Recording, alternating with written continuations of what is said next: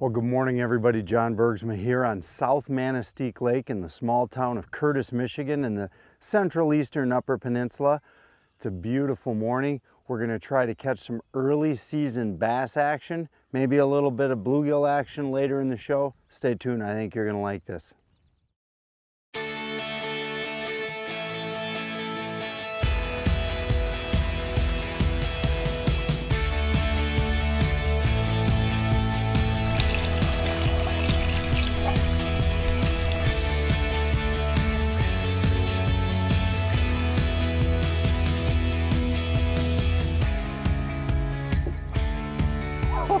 Can you believe this? Anywhere in the world, this is world class.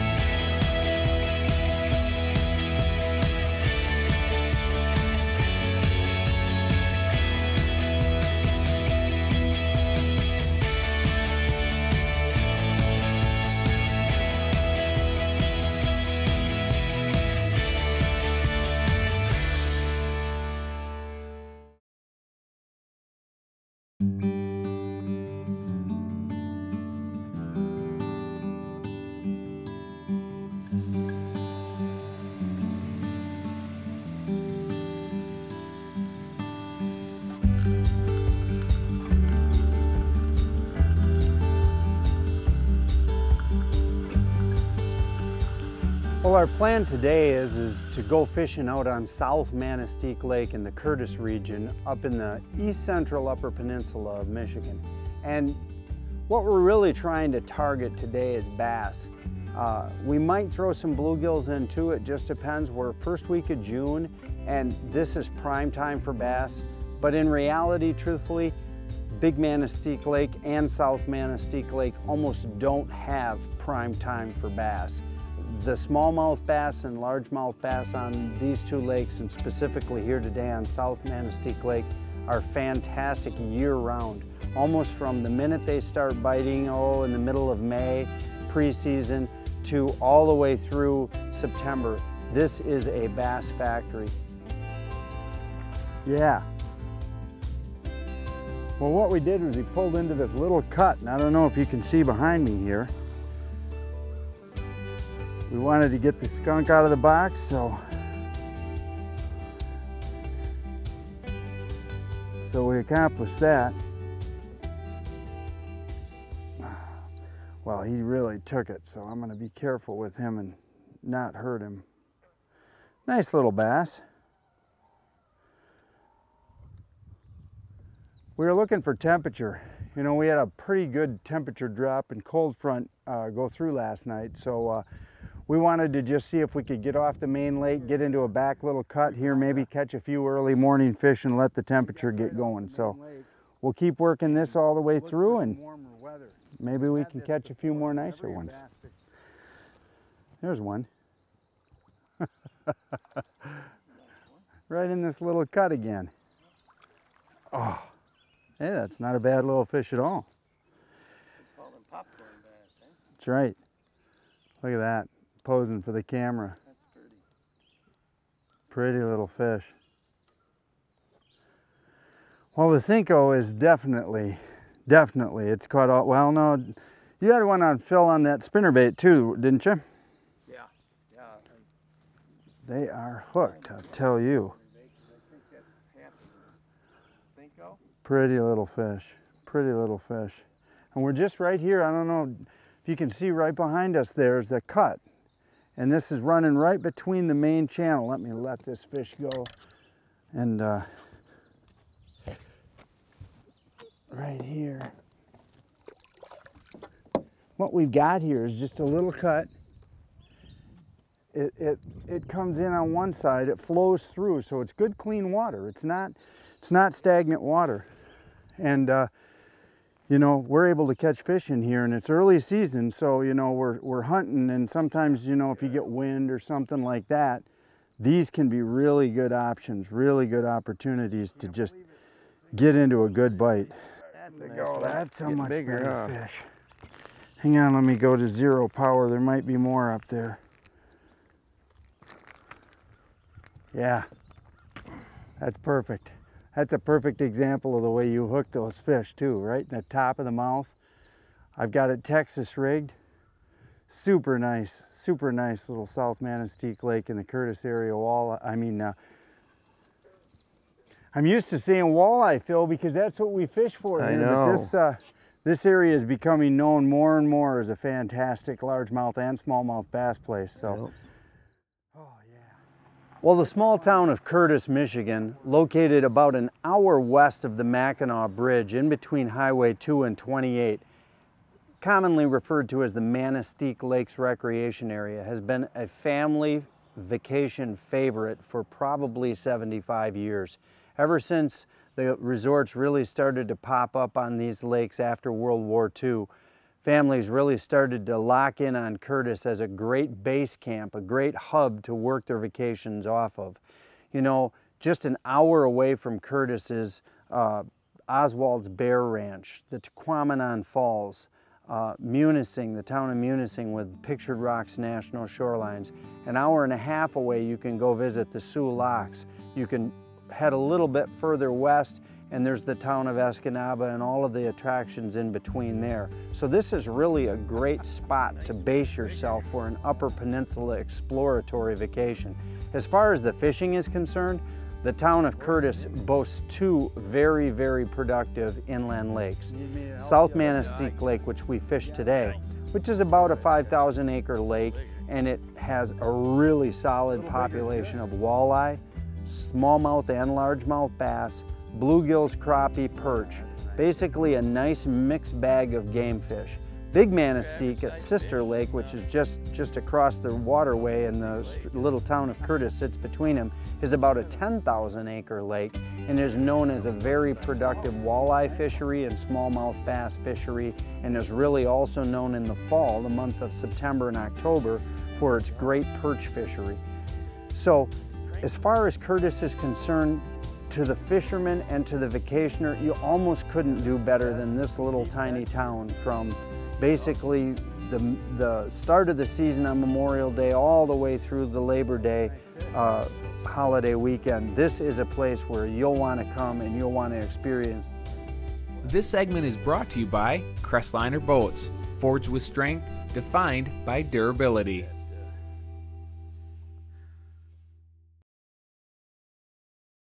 Additional consideration provided by Strike King. Oh yeah, oh, nice fish, nice fish. Just repositioned with the spot lock. I'll explain what we're doing here after we get this nicer fish in. I don't know if you can see, but we're right, oh my goodness, this is a nice fish. He wants right there, Jord. Oh, oh, that's a nice one. See all the reeds were around. Let me spin around and try to lip this fish right now.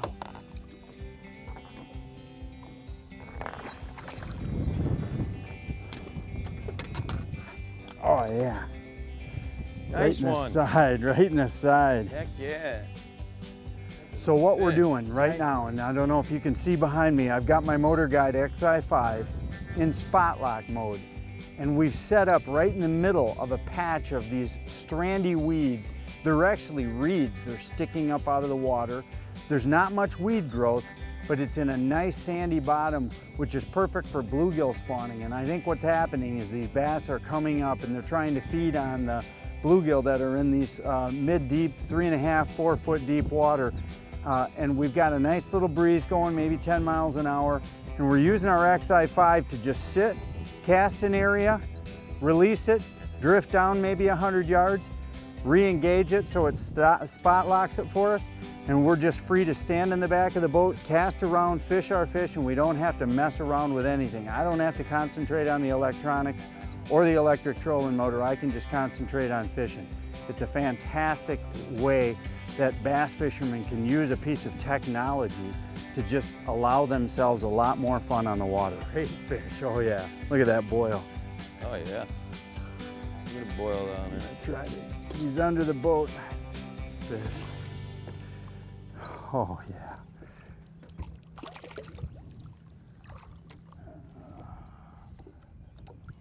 Don't want to get the hooks in me. just gonna belly lift him. There you go. Yeah. Look at all that weed and gunk. I mean, that's that is the beauty right here of the Senko method is just you can drag that, just slow drag that right through massive amounts of stuff. And truthfully, that's where these fish are holding right now. I mean, if you look down when I release this fish, we're in, the, in a pile, just a, probably a half acre of bluegill bed surrounded by weed and reeds and all kinds of stuff. And you've got to be able to make long casts with a bait and be able to effectively work it all the way back. Well, it has to be weedless. It's just got to be. So, you know, a Senko, a Texas rig Senko is just a perfect bait for this. little one swimming around with it. Yep. it's crazy. He's just a little feller. He's gonna get me.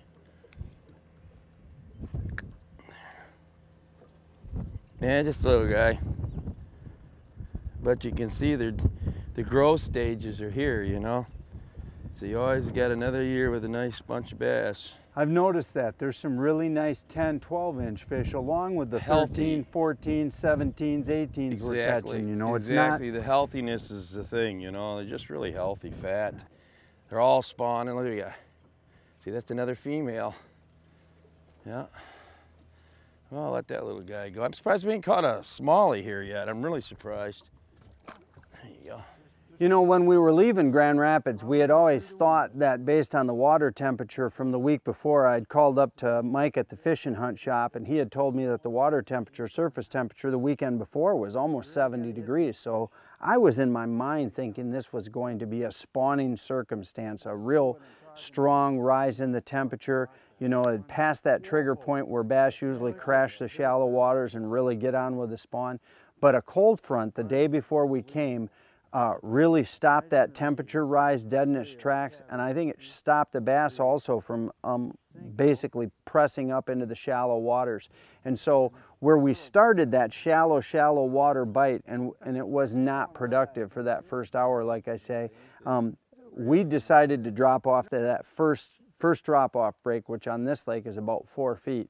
And when we made that single move, we found those staging bass right around that drop off in conjunction with the reeds or new weed growth. And that was the single piece of structure that was holding those fish. So we were able to just simply go from different spots on the lake that all had that same common denominator, that first drop off with some structure to hold the fish, and we had a great day. Oh, is he coming? Oh yeah. When we get the net?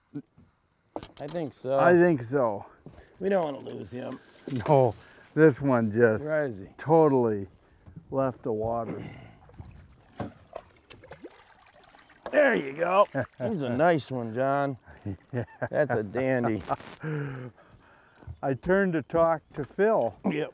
Because he saw the dog on the dock, and I just let my Senko lay, just not move. Mm -hmm. And I'm telling you what, that bass just came up, picked it up, and started swimming the other way. I saw my line going the other way, thinking, what the heck is going on? Well, what's going on? You got a nice bass. Is a healthy fish. Yep. That fish he, didn't take. He jumped. That fish didn't take two, one second. That that Senko hit the water, and I mean, foomf. It was almost like a top water strike because he hit it so quick. Mm-hmm. Wow, did he engulf it too? Another nice little fish.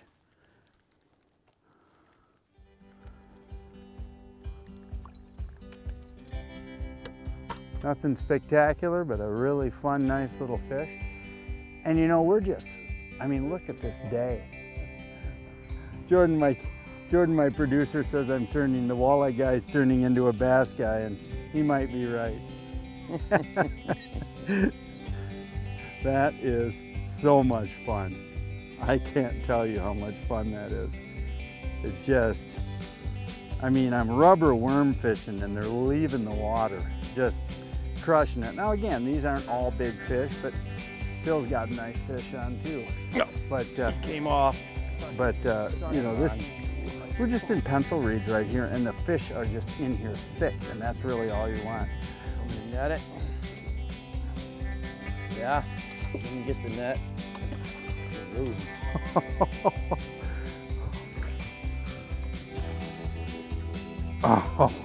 That's a nice fish, John. I think that's the best of the day, wouldn't you say, or about mash? Good job, man. Jordan's right. I'm becoming a bass guy. They're fun, man. It's time crazy. of year, you know. It's crazy how much fun it is. Yeah. I mean, a silly little Senko worm, You slam them, baby. and I mean, all day long, bass after bass after bass. Now, granted, you got to be on a Great Lake. We are on a Great Lake, South Manistique Lake, Curtis, Michigan, East Central, Upper Peninsula, early June. yeah. Yeah, baby.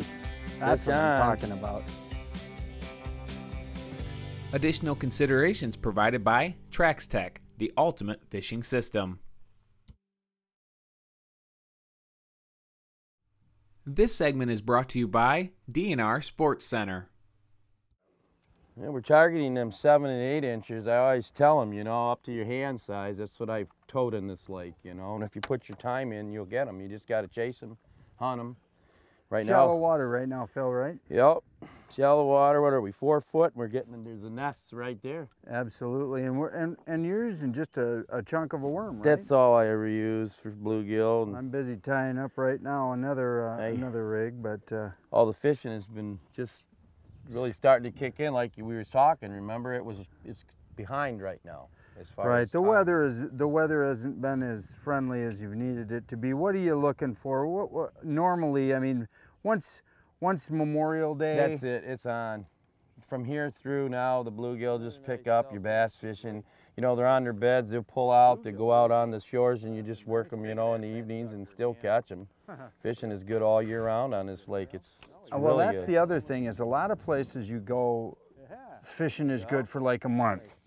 But Then it here, shuts I mean, you're right. Here, I've come here I on vacation bigger, you know, in that's August, and we're we're just whacking the bluegills. Oh, Now, yeah. yeah, you got to go find the, the weed Chase 'em. beds. Yeah, yeah. you got gotta to work 'em. find weed beds over top of where you got some water four or five feet over top of the tops of the weeds. Yeah. But You when just you drift them and just pull and pluck them out of them weed them weed beds. Exactly. Exactly. But yeah, the bluegill is just now turning on on these on this lake, and it'll just keep getting better. You know, you this is the best time of year to get the bigger ones. But eh, like I said, there's uh, I like bass just fishing is good too in this lake. There's a lot of bass, a lot of bass uh, tournaments that go on in this lake now. you Yeah, and we've we've had a, such a fun morning catching bass, but right Oh, now yeah. it's just a case of we just have to we gotta we get have to experience we gotta get of some eaters bluegills. here. Some of these eater bluegills. That's all.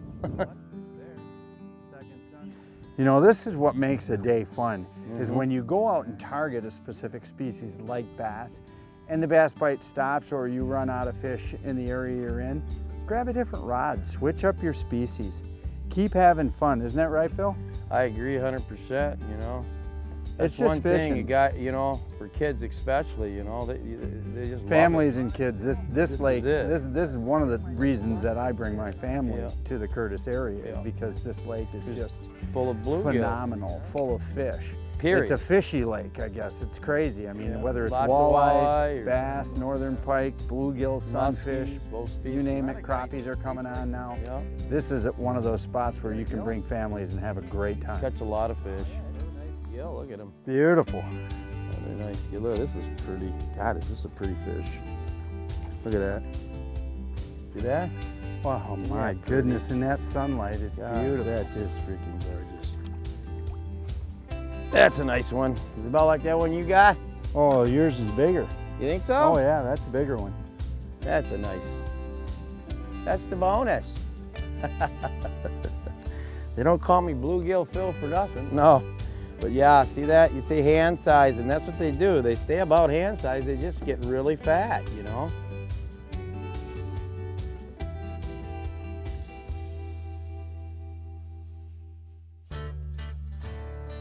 Hey sportsman, John Bergsma here in our kitchen with Chef Grant for another simple recipe. And this one's really kind of a fun recipe, Grant, because it, it uses any type of small fish, from bluegill to perch, small walleye, crappie, even white bass.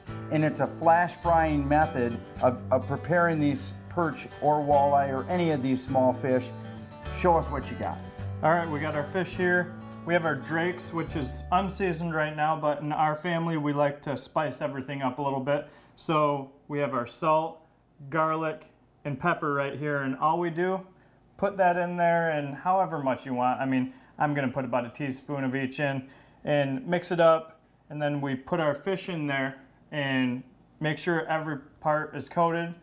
Typically, most people aren't going to have a thermometer. What's an easy way for people to know when their oil is hot enough? All right, reach back, get a little water on your hand. Ooh, If you hear it sizzle, it's sizzles ready. right away. I got you. So along with this fish, what else are we got here? I've got some broccoli. It looks like you set out in front of me, and we're going to steam this. And what little tricks can you add to broccoli to make it just a little bit more flavorful? All right, well, broccoli, the easiest way to cook it is put a, just a small amount of water at the bottom of your Mm-hmm. pan, turn it on high, put uh, your broccoli in, put your salt, garlic, and if you want pepper, you can put pepper in it too. Put it in there, cover it up.